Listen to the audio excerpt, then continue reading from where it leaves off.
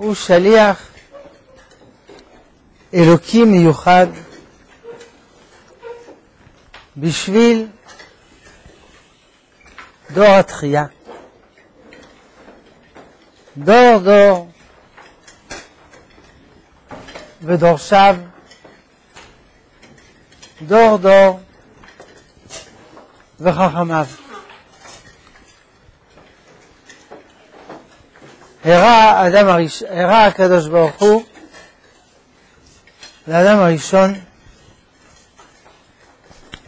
דור דור ודורשיו, דור דור וחכמיו, עד דור העקב.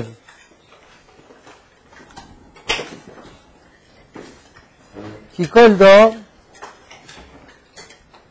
הוא מיוחד. כמבואר בספר אבן שלמה, פרק י"א, פסקה א', או פסקה אחר כך. כל דור יש לו קיצין. כלומר, יש לו דברים שבהם הוא נבחן בעבודת השם. כל דור יש לו דברים מיוחדים שהוא צריך לעשות בהם תשובה על פי התכונות הנשמתיות של הדור. ולכן כל דור צריך דורשים וחכמים מיוחדים על פי נשמת הדור.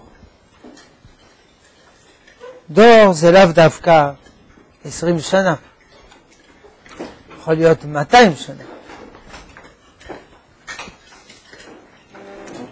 ובמיוחד כשאנחנו מדברים על דורות של תחייה. הרב ציודה כותב בנתיבות ישראל שהרב קוק הוא מורה הדור והדורות. כי גם דורות של תחייה הם לא זהים אחד לשני.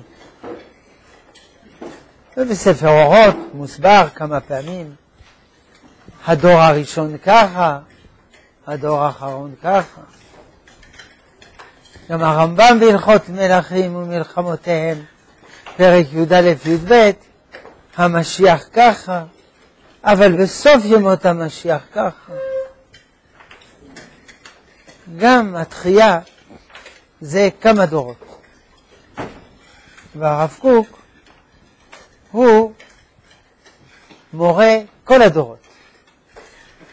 ודאי שדור התחייה לפני קום המדינה ואחרי קום המדינה זה לא אותו דבר. אף על פי ששניהם זה תחייה.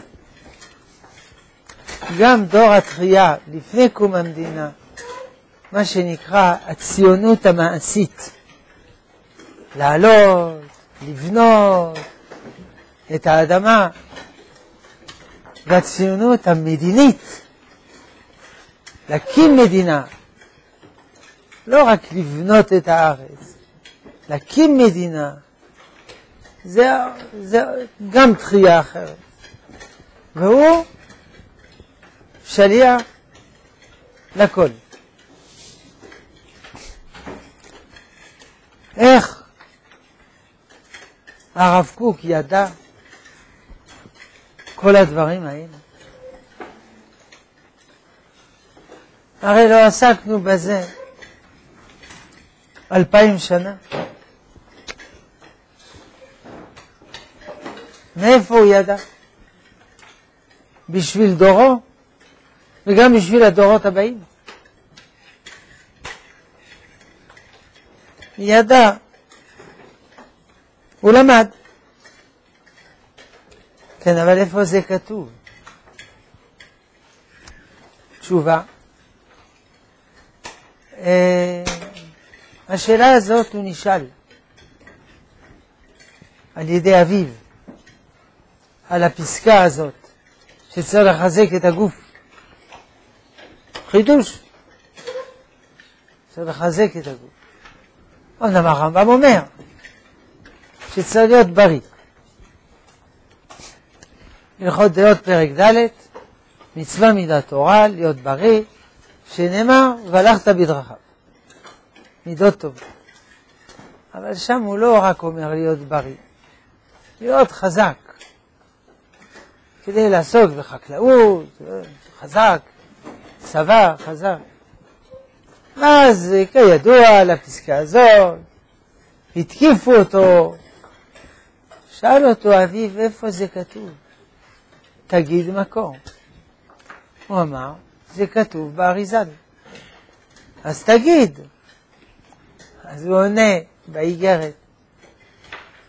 אבל ללא שהאריזה לא כותב, בחורי ישראל צריכים לחזק את גופם. האריזל הוא כותב בלשון של סודות.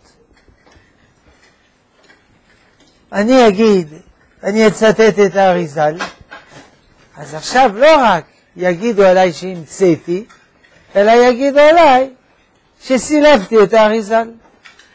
צריך בינה עמוקה להבין דברי האריזל. על כל פנים נמצאנו למדים. אה, יש עוד מקום אחד. הנה הוא כותב פסקה גם שהרבה לא הבינו בדף פ"ד האורות. הנפש של פושעי ישראל שמתחברים לאומה היא יותר מהנפש של שלומי אמוני ישראל שלא מתחברים לאומה. אבל הרוח של שלומי אמוני ישראל היא יותר מן הרוח של uh, הפושעים הטובים. ויש בעלי נשמה, נפש, רוח, נשמה, המחברים ביניהם. אפשר לומר שהנפש יותר. הוא נשאל באיגרת, מה המקור? הוא אמר, באריזל, נו. שאר הגלגולים. ושכמובן לא כתוב באריזל הנפש של פושעי ישראל המתחברים לאומה, אלא כתוב אחאב. זה אחאב. שהיה עושה הרבה עבירות, אבל מסר נפשו לכלל ישראל. אם כן, כאשר אנחנו שואלים, מניין לא לרב קוק כל מה שהוא כותב? תשובה, מאריזל. אומר הזוהר. בעצם הוא אומר את זה בפירוש. במהלך הידיעות. היה רב אחד, אה, אדם אחד, כתב קובץ. היהדות ועתידותיה. מה יקרה לעם ישראל? מה יקרה? התשובה שלו, לא יקרה כלום, עם ישראל יימחק. עמים אה, מופיעים, נעלמים. אז הוא ביקש מהרב קוק לכתוב.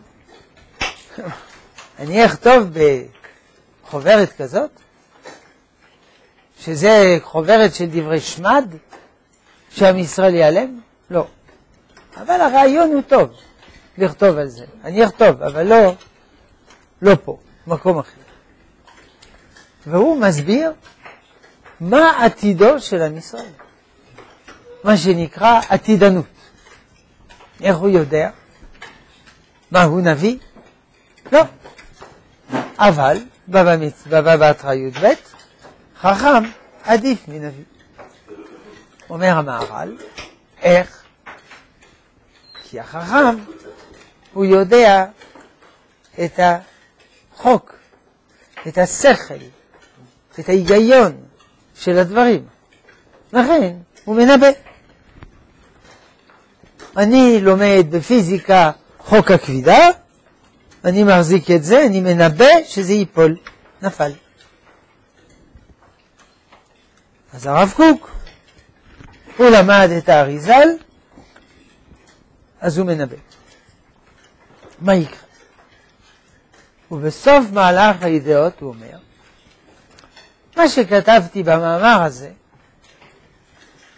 זה סודות. למה זה סודות? כי אסור ללמד לאנשים דברים שהם לא מבינים. זה מבלבל.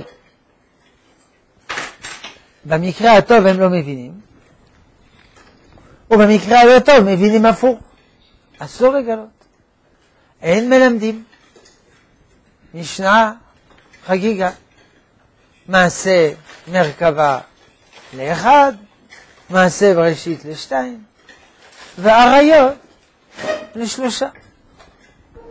דברים עמוקים גם אריות, לא מלמדים. לא מלמדים ילד קטן מה זה חתונה, מה זה נישואים.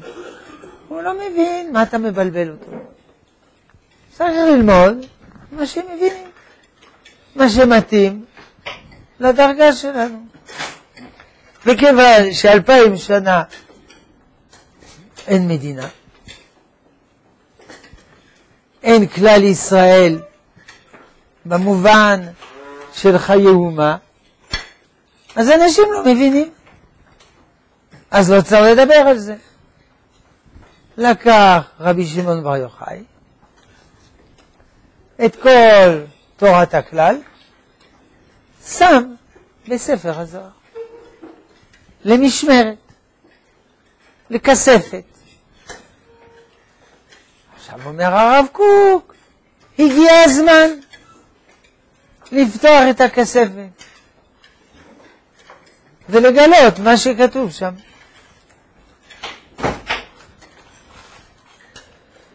אם כן, זה המקור שלו. אולי לא. אולי זה לא בזוהר ולא באריזל, אלא בגלל שהיה לו רוח הקודש. תשובה, ודאי היה לו רוח הקודש. הוא בעצמו מתאר בורות הקודש כרך א', איך מלאכים מדברים אל בני אדם. איך הוא יודע? איך מלאכים מדברים? הוא אפילו מתאר שכשהמלאך גומר לדבר, אדם חש משבר כזה, כי הלך המלאך, הוא נשאר בודד. הוא לא כותב שם אני, אבל אנחנו מספיק קראנו דברים של הרב קוק לדעת שגם כשהוא לא כותב אני, זה הוא. אז היו לו גילויי מלאכים, היו לו גילויי רוח הקודש. הרב קרול של כפר חסידים אמר, אחרי שיצא עולת ראייה, הוא לא יכול להסתיר שיש לו רוח הקודש. אחרת, איך הוא יכול לדעת מה זה עבודת הקורבנות? אלפיים שנה אין קורבנות. לא את ההלכות, הלכות כולם יודעים, אלא מה קורה בנפש, בנשמה של האדם שמקריב קורבנות. איך הוא יכול לדעת אם אין לו רוח הקודש? אז זה לא רוח הקודש. אז לא צריך לומר שהוא קרא את זה באריזל או בזוהר. תשובה. רוח הקודש הוא לא חייל באוויר, בכלי ריקן. אדם לומד, לומד, לומד, מתעמק, עד גבול היכולת, אז הוא מפלס ערוץ שרוח הקודש זורם בפנים. מה שמתגלה ברוח הקודש זה לא מה שכתוב שם. אבל בלי מה שכתוב שם, אי אפשר לזכות לו ברוח הקודש. זה המסגרת. זה שני ערוצי, שני קירות הנחל, שרוח הקודש זורם בפנים. זה מוסבר באורות הקודש, כרך א', שיש שם הרבה הרבה פרקים על רוח הקודש. זה לא סותר. זה רוח הקודש שחל על הדברים האלה. הרמח"ל, גם היה לו רוח הקודש, גם הוא מתאר. מה זה גם? הרב קוק גם, הרמח"ל. אנשים אמרו, איך יכול להיות שאתה, הרמח"ל, כותב על דברים שלא כותב האריזל? מה, אתה יותר מהאריזל? אז אתה מתחזק. שאל אותו רבו, הרב ישעיהו בסן, זה באגרות הרמח"ל, הם צודקים. איך אתה אומר, מדבר על נושאים שהאריזל לא דיבר? אז הוא עונה, ודאי אני אפס לעומת האריזל. האריזל לא דיבר על זה, כי לא הגיע הזמן. עכשיו הגיע הזמן. עכשיו אין אריזל. עכשיו יש אני. זה מה יש. אז אני מדבר על זה. קיבלתי שליחות לדבר על זה. לכן גם הרב קוק. הוא מדבר על דברים שלא דיברו בדורות הקדמונים. מה, הגאון מווילנה יותר גדול? יותר גדול. אבל עוד לא הגיע הזמן. עכשיו הגיע הזמן. דור דור ודורשיו, דור דור וחרמיו. על מה מדובר במהלך האידאות? שהוא אומר, זה היה גנוז. במהלך האידאות כתוב, על ייחוד קודשה בריחו שכינתה. נו, הוא יודע, כתוב בכל הסידורים, כן. אבל מה זה ייחוד קודשה בריחו שכינתה? במילים פשוטות. זה ייחוד של האידאה האלוקית והאידאה הלאומית. אידאה אלוקית, תורה, מצוות, קדושה. מה זה האידאה הלאומית? חיי האומה. אבל מה זה קשור? אידאה אלוקית זה קודש. חיי האומה זה סתם ארגון, חול. טעית.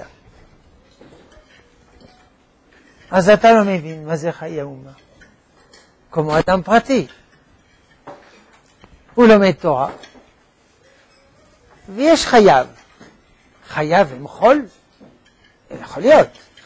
אבל אם הוא אדם קדוש, גם חייו הם קודש. יש ייחוד. אותו דבר כאן. אנחנו מלמדים במהלך הידיעות ייחוד קודשה בריחו ושכינתה. מה זה שכינתה? זה האור האלוקי שבאומה.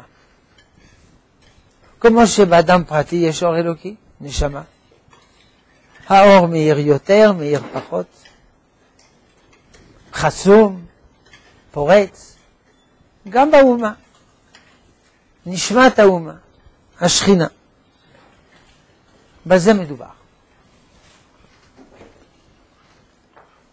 ייחוד בין האור האלוקי שבאומה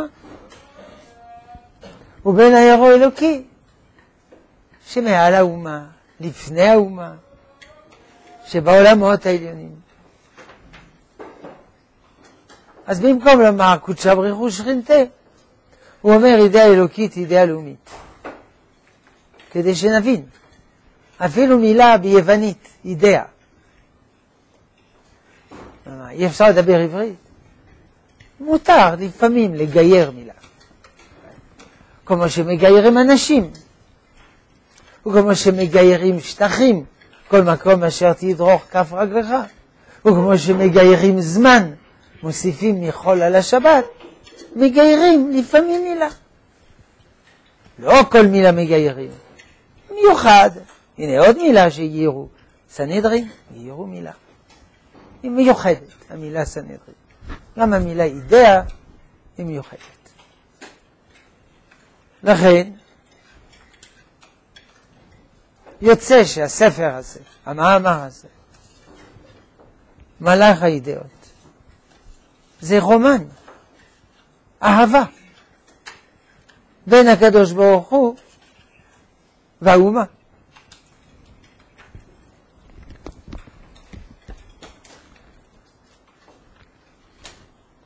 רומן אהבה. יש לנו רומן אהבה כזה. שיר השירים. הוא מוזכר במהלך הידיעות. השיא של חיבור הקדוש ברוך הוא והאומה זה שיר השירים. לא היה דור זכאי כמו הראוי בדור שניתן שיר השירים. זה רומן אהבה. אהה. יש מדרגות באהבת השם. כמבואר ברמב"ם, הלכות תשובה, פרק אחרון. יש אדם עם קצת אהבת השם, הרבה אהבת השם. יש, אומר הרמב"ם, אהבת השם, כמו אהבת אותה אישה שכל היום הוא חושב על אשתו. הוא קם חושב על אשתו, אוכל חושב על אשתו, כל הזמן הוא חושב עליה. כך ויותר אהבת השם. ועל זה מדובר בשיר השירים. אומר הרמב"ם, שיר השירים, אהבת הפרט אל ריבונו של. רש"י, אהבת הכלל אל ריבונו של. אהבת האומה. גם הפירוש הקטן על שיר השירים שכתבתי, זה על פי רש"י. זה רש"י. אסביר מה רש"י אומר. זה רומן אהבה בין כנסת ישראל לקדוש ברוך. זה לא סותר. שני הרומנים לא סותרים. לא רק שהם לא סותרים, הם רומן אחד. והרב קוק, כדי לכתוב על אהבה, אתה לא יכול לכתוב על אהבת השם אם אתה בעצמך לא מלא אהבת השם. ובכן, אתה כותב על דבר חיצוני, דבר טכני, אני יכול לכתוב על דבר חיצוני. יש לי חבר, הוא שאל איך מתקנים את המחשב. אני לא יודע מה זה מחשב, אבל הוא שאל, תלחץ על הפלוס, תלחץ שם, תלחץ, תלחץ, תלחץ. הוא לחץ, זה פועל. לא הבנתי כלום. אבל אמרו לי, אמרתי לו. אין בעיה. זה בשביל דברים מעשיים. אפילו הלכות. זה, מה הדין, זה כזה. הבנת מה שאמרתי? כן. אני לא הבנתי, אבל אם אתה הבנת, ברוך השם. אבל דברים פנימיים, אתה לא יכול בלי להבין. לכן, בהקדמת מוסר אביך, אומר הרב קוק, מה זה הן יראת השם היא חוכמה? והשאר זה לא חוכמה? לא כמו יראת השם, כי על שאר דברים אני יכול לדבר על דברים שאחרים אמרו לי ואני חוזר עליהם. אבל יראת השם, אם אין בי יראת השם, אני לא יכול לדבר על יראת השם. ואם אין בי אהבה, אני לא יכול לדבר על אהבה. זה בהקדמת הרב קוק, שיר השירים בו להתריע, חלק ב', בעלי עיניים הטרוטות. והרב קוק, הוא היה מלא אהבת השם. לא שהוא היה מלא אהבת השם, הוא היה אהבת השם. זה מהותו, אהבת השם. כמבואר במאמר של הרב סודה, נפש הראייה. מאמר קצר, הוא מסביר שם את הנפש של הרב קוק. יש שלושה מאמרים שכתב הרב ציוד הרב קוק. מאמר שנקרא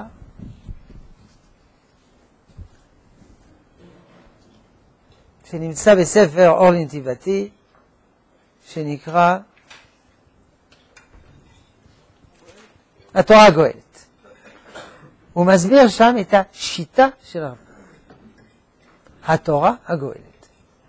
מאמר שמתחלק לשלושה חלקים.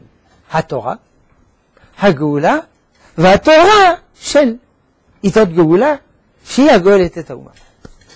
מאמר שני, תשובה ובירור דברים, שנמצא ב... במערכה הציבורית, חלק ג', לא, בהלכות ציבור. מה? שלושה ב... לא זה הסוף. מה זה תשובה ובירור דברים? הסבר לרב חרדי, איפה מה שהרב קוק אומר זה משיק לחרדים, ואיפה הוא כולו חרדי, ואיפה יש חידוש. מה החידוש, מה הלא חידוש. החידוש הוא לא במקום החרדים. כל מה שחרדי אמיתי, אבל יש חידוש. ומאמר שלישי, נפש הראייה. זה הכי קשה. הרבה אנשים כתבו מאמרים על הרב קוק. זה מאמרים שדומים, כל אחד כותב איזה נקודה. הרב קוק היה רב גדול, רב גדול. פוסק גדול, גם מעמיק גדול, גם מנהיג גדול, גם וגם וגם. זה מזכיר את המשל של הפילוסוף אפלטון על האדונית שכעסה על שפרתה, שהפילה וזה, שהתרסק לחתיכות, למה עשית מאחד הרבה? אז הם עשו מרב קוק אחד הרבה הרבה חתיכות קטנות. המאמר היחיד של מי שהבין מי שהרב קוק, כמובן זה הרב צודה. גם הנזיר, שהיה מלאך אלוקים, הוא ראה חלק מהרב קוק. גם הרב חרל"פ, שהיה מלאך אלוקים, ראה חלק של הרב קוק. הרב חרל"פ ראה את הרב קוק הרבני, והנזיר ראה את הרב קוק המחשבי. אבל מי שראה את כל הרב קוק זה הרב צודה, והוא הגדיר את הרב קוק. אהבת השם, או אמונה בשם. אהבה, קו מחבר אמונה. באהבה ובאמונה, ואמונה באהבה. זה אותו דבר, אהבה ואמונה. אהבה, אמונה זה דבקות בשם. זה אמונה. זה חיים. והרב קוק הוא נשרף מאהבת השם. יום אחד הוא אמר, אני לא יכול להתפלל מנחה, פיקוח נפש. אם אני מתפלל מנחה, אני נשרף מאהבת השם ואני מת. כמו שיש סיפור על חזן שהתפלל הקדמות מילין בשבועות, וכל כך הרבה דבקות, נשמתו עלתה ונשאר מת. אז הוא הסתובב ברחובות, שאל חקלאים פה, שם, על גידולים, וזה. לשפוך מים. כיוון שהרב קוק, הוא היה כל כך מלא אמונה בשם, אהבת השם, אז הוא ראה לא רק את אהבת הפרט אל ריבונו של עולם, בין הפרט וריבונו של עולם, אלא בין הכלל וריבונו של עולם. שזו אהבה הרבה יותר גדולה. הרב קוק מסביר מקום אחד, המלך כותב ספר תורה. כל יהודי כותב ספר תורה, והמלך עוד אחד. הספר של כל יהודי מונח בבית. הספר של מלך הוא לוקח איתו כל הזמן. יוצא למלחמה איתו, יושב בדין איתו, כל הזמן איתו. כי כתוב וקרא בו כל ימי חייו. כל ימי זה כל ימי. נכנס הוא עמו, יוצא בדין הוא אצלו, נכנס לבית המים. טוב, אי אפשר להיכנס לה. מקלחת, ממתנת לו עד הפתח. מניין? וכן דוד, הוא אומר, שיוויתי השם לנגדי תמיד, כי ממיני בא למות. שיוויתי השם לנגדי תמיד, בפרט ובכלל. וממיני לא אמות. למה ממיני? למה לא משמאלי? רבי יהודה אומר, ספר תורה ממינו ותפילין בזרועו. פה יש לו תפילין, פה יש לו ספר תורה. שאלו איך יש לו פה ספר תורה, קצת גדול. אז יש שתרצו רק משנה תורה, כי כתוב כתב לו משנה התורה. יש שתרצו רק אה, תמצית, תמצית. יש שתרצו רק עשרת הדיברות, ויש שתרצו רק פסוק אחד. אבל הרמב"ם לא אומר כך, הרמב"ם אומר ספר תורה, ספר תורה. ואם קרא בו כל ימי חייו, אז זה לא מספיק עשרת הדיברות. אני לא מבין את הקושייה. הילדים שלי, בשמחת תורה, יש להם ספר תורה קטן, כזה קטנצ'יק. יש כזה, יש גם בגודל כזה. ואי אפשר לקרוא. ודאי אפשר לקרוא. מה? כן. כזה קטן, בגודל יד. קצת. כן. רואים? הספרי התורה של הילדים, אפשר לקרוא. צריך עיניים טובות. משקפיים, משקפיים, משקפיים, משקפיים, משקפיים. ומי שאין לו משקפיים, יש לו עדשות מגע, לא לעבוד עלינו. מה? לא, לא משקפיים. אפשר לקרוא. אז מה אם זה קטן? גם תפילין פעם היו עושים. קטנות, קטנות, קטנות. הרי חיילי בר כוכבא לחמו עם תפילין. איך אפשר להילחם עם תפילין? כל התנ"ך פה. אז אם זה התורה, זה עוד פעם. אי אפשר להילחם עם תפילין גדולות, קטנות. סופרים ידעו לכתוב, קטן קטן. זה נכון. ויש ספר תורה, פה. ששאול נפל בקרב, אז הוא הביא את הנזר ואת האצעדה לדוד. הנזר, הכתר, והאצעדה זה הספר תורה. ספר התורה המלכותי של שאול. הוא בנרתיק, כמין קמע כתוב, תלוי על זרועו. שיוויתי השם לנגדי תמיד. זה תחילת השולחן ערוך. זה יסוד גדול לצדיקים, אומר הרמ"א. שיוויתי השם לנגדי תמיד. נכון. זה גם התפילין, להזכיר שיוויתי השם לנגדי תמיד. והספר התורה של המלך זה שיוויתי השם לנגדי תמיד של הכלל. אז זה הרב קוק. אפשר לקרוא לזה אהבת השם, אפשר לקרוא לזה אמונה בשם. אפשר לקרוא לזה שיוויתי השם לידי תמיד.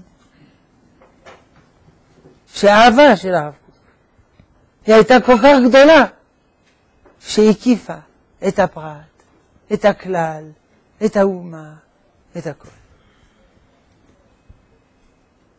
אבל זה לא שני דברים. זה לא הפרט והכלל. גם הפרט, גם הכלל. זה לא סותר, אפשר יחד. גם לאומי, גם דתי, לאומי דתי. הרב ציודה אף פעם לא אמר לאומי דתי. והרב קוק אמר בספר אורות, מי שאומר לאומי, הוא, הוא טועה, לאומי דתי, הוא טועה. מי שאומר לאומי, הוא ממילא דתי. מי שאומר דתי, הוא ממילא לאומי. זה דבר אחד. הכלל והפרט זה דבר אחד. כמו שכתוב, כלל ופרט, פרט וכלל. כלל ופרט וכלל, פרט וכלל ופרט. כלל שצריך לפרט, פרט שצריך לכלל. או במילים פשוטות, הפרט מתוך הכלל. קודם דיברנו על נשמת הפרט, שלפעמים היא כבויה, לפעמים היא דולקת, אבל כתוב באורות, בסוף ארץ ישראל, כשהפרט מגיע לארץ ישראל, הנשמה שלו נדלקת. אותיות נשמה נדלקות. פעם הייתי במוזיאון למדע, והיה חדר אחד על חומר רדיואקטיבי זוהר. הייתה אבן זוהרת אדומה, אחת כחולה, אחת ירוקה, ובאמצע מזריקה עם חומר רדיואקטיבי זוהר, צהובה. כל החדר היה חשוך. אז מה עשיתי? הסתכלתי על השעון שלי. פעם על השעונים היו נקודות, נקודות זרחן, כדי שאפשר יהיה לראות בחושך. על המחוגים וגם על השעות. הסתכלתי, הוא זרח פי מאה, כי כל האוויר מלא חלקיקים ומכים על השעון, ואז הפעילות הרדיואקטיבית מתעצמת.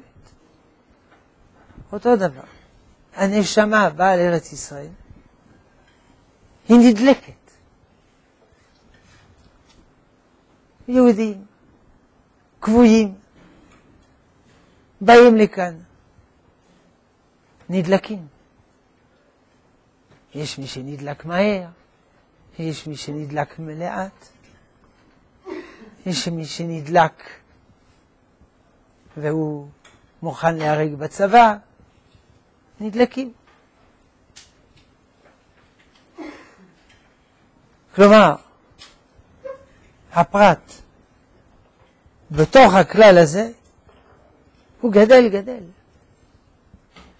אי אפשר, אם הוא רוצה, אי אפשר להכריח. כתוב בגמרא, כתובות בסוף, כל השרוי בארץ ישראל שרוי בלא עוון. קושיה, אומר בעל הפלאה על כתובות. אם כל השרוי שרוי בלא עוון, איך היה חורבן בית ראשון ושני? אם הוא רוצה, הרי יש בחירה חופשית.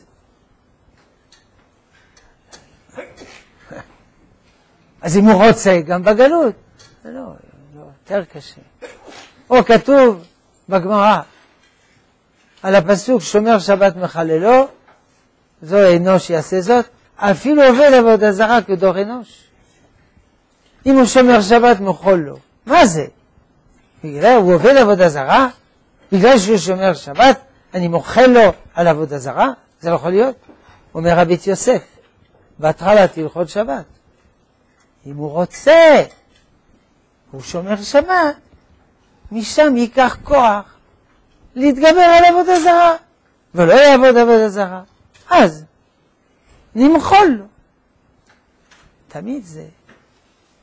אדם, אדם צריך להיות שותף, שותף לקדוש ברוך הוא, מעשה בראשית.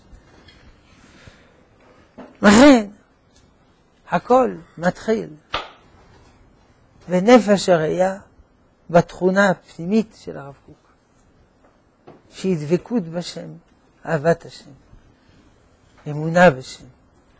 אחר כך הוא מסביר שם, וזה מתפצל מתוך אהבת השם, אהבת התורה, אהבת האומה, אהבת הארץ, אהבת אה, שיבת ציון, וכן הלאה וכן כן. הוא מורה הדור והדורות. אנחנו יכולים להבין את הרב קוק, אולי, רק במה שנוגע להיום. אבל מה שנוגע לעוד עשר שנים, קשה לנו להבין היום. זה נבין בעוד עשר שנים. יש ספר אורות ראייה פרקים אישיים כלל ישראליים. פעם הרב ציודה קרא איזה פתקה, אמר זה יהיה אורות הראייה כרך זין. כלומר, בעוד התקופה השביעית של תחיית האומה, זה יתאים. בסוף אורות ראייה יש מאמר, שמעו עמים ירגזון. כתוב שם, מצאו את הפתק הזה. מתאים לעכשיו. מה זה מצאו? הוא ידע הכל איפה נמצא, אבל עכשיו זה הזמן של הפתק הזה. הקדוש ברוך הוא הכין לנו מחיה אצל הרב קוק. לא רק לדור הזה, לא רק לדור שלו, אלא גם להרבה דורות הבאים. אשרינו שאנחנו זוכים ללמוד וללמוד. אמר רבינו הרב צודה, לא לזלזל. אתה חושב שבגלל שזה כתוב בלשון רגילה, זה דברים רגילים? לא. זה דברים עמוקים. עמוקים שבעמוקים. אלא הרב קוק. הלבוש זה הסגנון הספרותי. אבל זה דברים עמוקים מאוד. אמר הרב קוק, זה בעיניה, זה בשלושה באלול. אין משפט אחד שאני אומר שאין מקורו בדברי האריזל. הכל דברים עמוקים, אבל מוסברים בצורה שנבין. מאז רבי שמעון בר יוחאי לא קם אדם אחד שהצליח להסביר דברים כל כך עמוקים בשפה כל כך מובנת. לא קם. האריזל זה לא מובן, הוא לא רצה להיות מובן. הרמח"ל זה מובן, אבל מובן כמו ספר אורות משאר הדברים, אין, לא קם.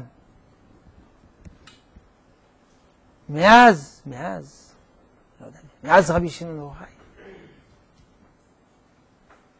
לומר דברים עמוקים בשפה עמוקה, זה יש הרבה, כמו אריזל או הזוהר. לומר דברים פשוטים בשפה פשוטה, זה לא בעיה, זה תקנה עיתון. אבל לומר דברים עמוקים בשפה מובנת, זה פעם ראשונה בהיסטוריה. למה? הוא יותר גדול מאחרים? לא. יש יותר גדולים. אבל עכשיו, זה נצרך. צריכים להבין. מובנים זה לא אומר שזה מהר. אמר הרב זבין, צריך לכמת את המצח, צריך לשבור את הראש, אבל מבינים. כי זה שפה רגילה. איך הוא הצליח? זה נשמה מיוחדת שיצא ריבונו של עולם. טוב.